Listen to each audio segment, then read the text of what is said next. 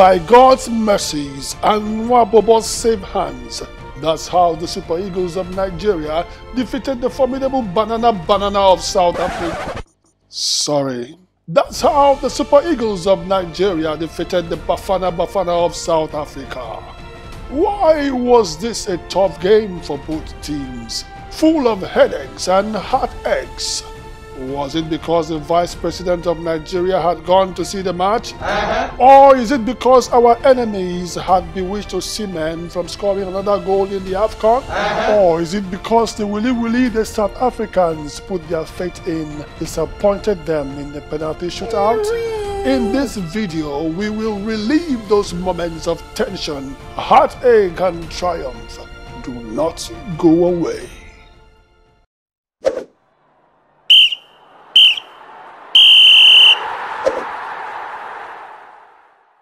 Tension was the name of the game, every second of it. And this was because the Nigerian defense was a shadow of itself most of the first half.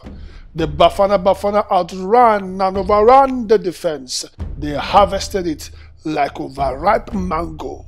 It was by God's mercy they did not harvest a goal. I want to harvest you. You are corn. Are very ripe corn. Now, how did the best defense in the tournament become what Banana Banana used to play 10-10? What was the problem? Problem number one. The South African forwards are fast-paced. The Nigerian defenders like to overlap. Now, do the math. As you would guess, the pacey forwards overran the overlapping wing-backs before they could recover their positions. Problem number two. The Nigerian back line was constantly outsmarted by the South African forwards, who could always run behind them to receive a long cross and trouble the goalkeeper. Problem number three. The midfield failed in its duties to recover and hold the ball. It wasn't a surprise when Iwobi was the first of the guys to be subbed off. Coming up, a moment of joy will be turned into a heartache and despair when substitute Hassan Yusuf committed a foul in the 18-yard box. And also, tactical changes made by Peseiro that would shock the world. We'll get into all this after the break. Halftime. Hello, Please take a moment to support our channel by liking this video. Also subscribe and turn on the notification bell so you always know when we post another video. Now, let's get back to the action.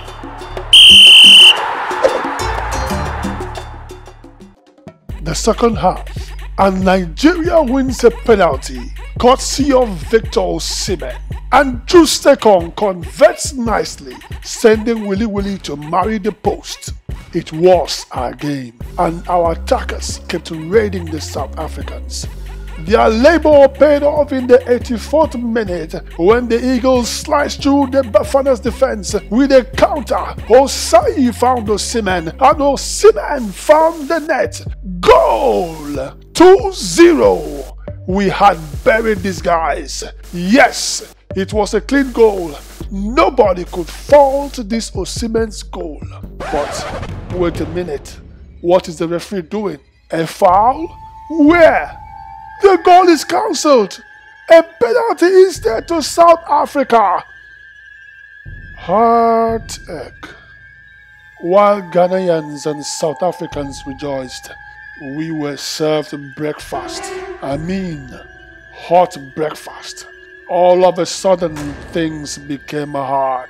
And things would have been harder in the sixth minute of added time if not for the mercy of God.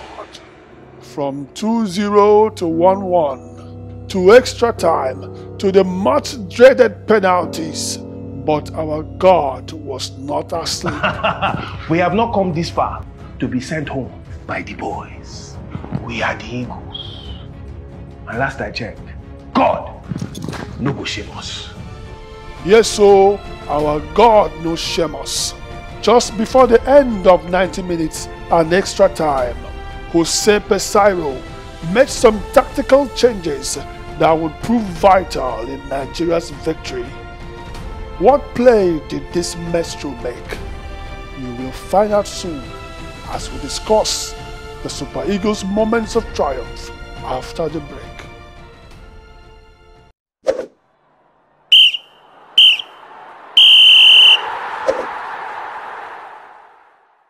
As the game drew to a close, the South Africans were prepared for penalties. They could taste victory in their breath, but little did they know that the Jose Mourinho's assistant had a joker up his sleeve. The introduction of Terem Moffi, Kelechi Iheanacho, and Kenneth Omeruo before the end of play will spell doom for the Banana Banana. But our moments of triumph cannot be told without the hero of the day, the man of the match, Stanley Nwabali. His life-saving saves ensured Nigeria remained in the game. His experience in the South African League was vital to the team as he used it to neutralize the South African attackers. When he failed to save Mokoena's penalty, no one would have believed that Nwabali would be the hero of the day, saving two penalties in the shootout. Which brings us, friends, to our ultimate moment of triumph, the penalty shootout. It was a moment of panic and tension for the nation because of what we knew about Willy Willy. How he had conquered the men of the sea with four penalty saves. Jesus is Lord! Our hearts pounded in our chest, and Nigeria had to take the first kick. The pressure was intense. This is what we dreaded. Willy Willy would use us to shine. Ghanaians would finish us on Twitter. Some of us started praying. Are you ready to pray? You will say after me, say, hold on! Hold on! Hold on! Hold on! Close the hand! Close the hand! On South Africa keeper! On South Africa keeper! Close the hand! Close the hand! On South Africa keeper! On South Africa keeper! Even the bishop had to wear a winter jacket indoors. What were you doing at this time, friends? Let us know in the comments below. And now, back to the shootout. The substitute, Terem Moffi, the first of Peseiro's Joker, was the first to come up, and he took Willie to the cleaners. Then it was Bafana Bafana's turn. Mokoena had the stage. He took it, but Nwabali saved it this time. The unexpected had happened. Nwabali saved it. Up next was Omeruo, another of Peseiro's Joker. We all held our breath. But Omeruo rubbished Willy Willy without mercy. Now, hold on. Did you notice something? It was obvious that Peseiro and his team had done their due diligence on Ronwen Williams and had seen the way the keeper loves to dive to corners to save penalties.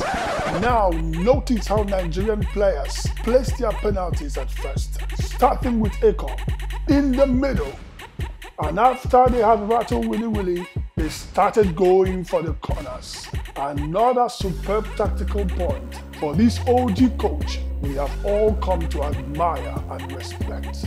Now, back to the shootout. After Ola Aina had sent his penalty to the stands and Nwabali saved Evidence Makgopa's, William Troost-Ekong and Vala delivered Diaz, leaving the tally at 3-2. Then, it was the final kick for Nigeria. Kelechi Iheanacho, Peseiro's final joker. The whole nation held its breath. Our prayers intensified. Oh Lord, have mercy. Iheanacho scored this one. And Iheanacho scored. Iheanacho scored. The match was won. Nigeria was through to the finals. The moment of triumph after a grueling 120 minutes of palpitating tension and heartache. Nwabali, the hero of the night. And so we feasted that night on Ghana Jollof, made with Cameroon pepper, while listening to Amapiano. if you know, you know. That is it, my friends. Thank you for sticking to the end. Please support our channel by liking this video. Also subscribe and turn on the notification button so you will know when we post another video. See you in the next video.